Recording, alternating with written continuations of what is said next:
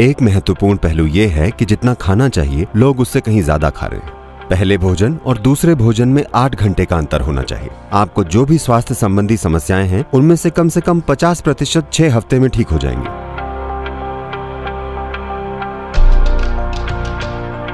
नमस्कारम सदगुरु।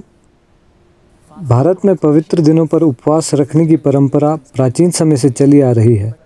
लेकिन बहुत से भारतीयों को लगता है कि ये अवैज्ञानिक और अतार्किक है। लेकिन अब उपचार से होने वाली ओटोफेजी पर हुए शोध को नोबल पुरस्कार दिया गया है। मैं खुद इस साल कभी कभी उपवास रखने लगा हूँ। तो ऐसे फ़ायदेमंद पुरानी परंपराओं को धकियानुसी क्यों बताया जाता है? और फिर पश्चिमी समर्थन मिलने के बाद तुरंत लागू किया जाता है। क्योंकि आपकी त्वचा का रंग सही नहीं है।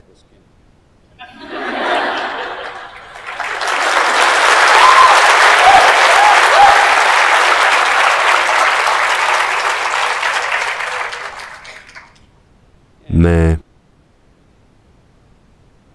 मैं इस बारे में चालीस सालों से बोल रहा हूँ, ठीक है?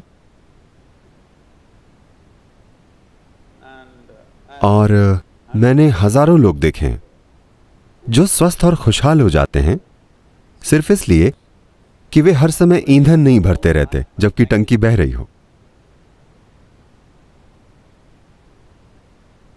योग केंद्र में सभी लोग सुबह दस बजे खाते हैं। और शाम को सात बजे। हम बहुत सी शारीरिक गतिविधियाँ करते हैं। आश्रम के अंदर गाड़ियाँ नहीं हैं। वो एक बड़ी जगह है। सभी या तो चलते हैं या साइकिल चलाते हैं। डाइनिंग हॉल जाने के लिए भी एक किलोमीटर चलना पड़ता है। ऑफ़िस जाने के लिए भी आधे से एक किलोमीटर चलना पड़ता है। इस तरह लोग हर समय शारीरिक काम करते रहते हैं। तो हर कोई दोपहर साढ़े तीन या चार बजे तक काफ़ी भूखा होता है। वे काफ़ी भूखे होते हैं। लेकिन हमने उसे जीवन का एक हिस्सा बना लिया है। क्योंकि पेट खाली होना और भूख लगना दो अलग अलग चीज़ें हैं।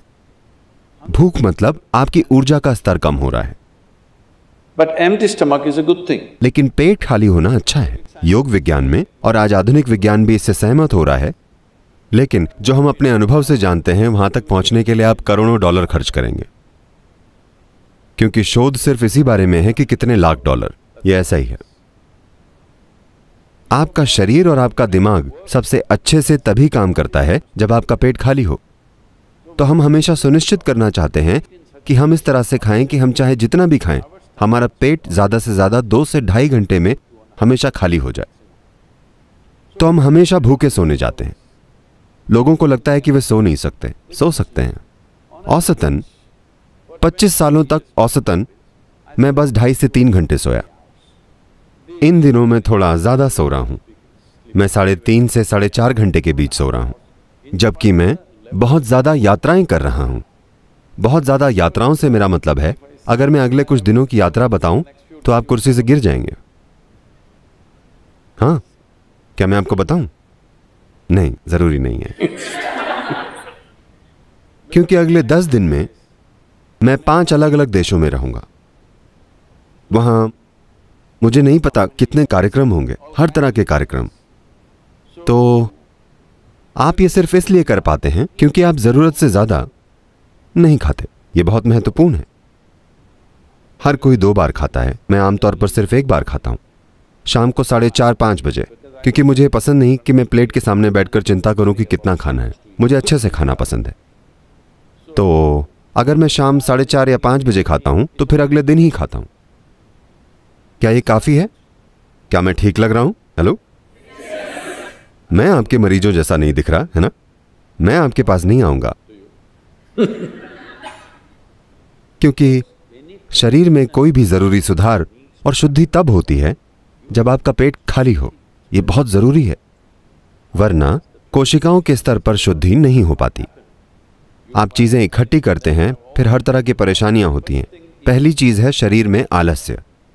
आलस्य के कई स्तर होते हैं। अगर आपने उन सभी पर ध्यान न दिया हो तो जितना समय आप सोते हैं वो आलस्य है। आप सभी यहाँ सोने आए हैं या हेलो? जीने के लिए है ना? यहाँ मतलब यहाँ नहीं मेरा मतलब है जीवन में। आप जीना चाहते हैं या intention of life is to live isn't it? जीवन जीना चाहता है है ना? लेकिन क्योंकि आपने अमेरिकी डॉक्टरों की बात की तो ये अब यहाँ भी शुरू हो गया है। सभी अमेरिकी डॉक्टर्स कहते हैं आपको कम से कम सात से आठ घंटे सोना चाहिए। इसका मतलब है आपके जीवन के एक तिहाई हिस्से में आपको सोना चाहिए। दो तीन घंटे और टॉयलेट नहाने और खाने वगैरह में चले जाते हैं। तो आपके जीवन का 50 प्रतिशत हिस्सा बस रख रखाव में चला गया। मान लीजिए आपके पास एक मोटरसाइकिल या कार है। जो एक महीने में एक बार सर्विस के लिए जाती है तो उसे रखना ठीक है। मगर वो महीने में पंद्रह दिन की सर्विस लेती हो तो ये परेशानी है है कि नहीं? बहुत से लोगों ने अपने सिस्टम को परेशानी बना लिया है, क्योंकि उनका अपना शरीर, उनके जीवन में एक बहुत बड़ी रुकावट है। वो जो भी करना चाहते हैं, उनका शरीर उन्हें करने नहीं देता। तो इसके कई पहलू हैं। एक महत्वपूर्ण पहलू यह है कि जितना खाना चाहिए, लोग उससे कहीं ज़्यादा खा रहे हैं। सिर्फ़ इसलिए क्योंकि उन्हें कहा जाता है कि आपको ज़्यादा खाना चाहिए वरना आप कमज़ोर हो जाएँगे। नहीं अपने शरीर को ठीक रखने का एक तरीका है। आज हर कोई कम ईंधन लेने वाली कार और मोटरसाइकिल बनाना चाहता है। इसका मतलब क्या है? अगर मशीन कुशलता से चलेगी तो कम ईंधन खर्च होगा है ना? तो अगर यहाँ बैठे हुए आप बहुत आराम में हैं तो ये कम ईंधन लेगी। अगर आप हर समय ऐसे होंगे If you like this all the time, then it will consume more fuel, it will want you to eat. तो ये और ज़्यादा भोजन मांगेगी। ये आपको विवश करेगी। तो ये नया नाम इंटरमिटेंट ईटिंग आपको देखना चाहिए अमेरिका में लोग हमारे कार्यक्रमों में आते हैं। हमारे कार्यक्रम 10 से 12 घंटे चलते हैं। तो लेकिन वे कुछ बिस्किट या कुछ और लाते हैं। वे कहते हैं मुझे शुगर प्रॉब्लम है इसलिए मुझे खाना पड़ता है। मुझे खाना ही पड़ता है। मैं कहता हूँ आप बस यहाँ रहिए आप नहीं मरेंगे। मैं सुनिश्चित करूँगा क्योंकि मैं नहीं चाहता कि मेरे कार्यक्रम में कोई मर जाए ठीक है? मैं ये सुनिश्चित करूँगा पहले दिन नहीं नहीं मुझे खाना पड़ेगा। तीसरे दिन तक वे सब कुछ छोड़ देते हैं बारह घंटे बिना भोजन के बैठते हैं और वो बिल्कुल ठीक रहते हैं। देखिए सेहत ऐसी चीज़ नहीं है जिसे आप बाहर से बनाते हैं। सेहत आपको भीतर से पैदा करनी होती है। अगर कुछ परेशानी हो तो आप बाहरी मदद ले सकते हैं। हर समय अगर आपको कोई परेशानी है मतलब क्या? आप एक खराब मशीन है। हाँ? हर समय आपको कोई परेशानी है, क्यों? इसे ऐसे नहीं डिज़ाइन किया गया है। इसे सेहत के लिए बनाया गया है। आपके शरीर की हर कोशिका को सेहत पैदा करने के लिए बनाया गया है है ना? वे सभी सेहत पैदा करने के लिए मेहनत कर रही हैं, सिवाय आपके। तो योग में कम से कम आठ घंटों के अंतराल की सलाह दी जाती है। एक भोजन से दूसरे भोजन के बीच आठ घंटे का अंतर होना चाहिए।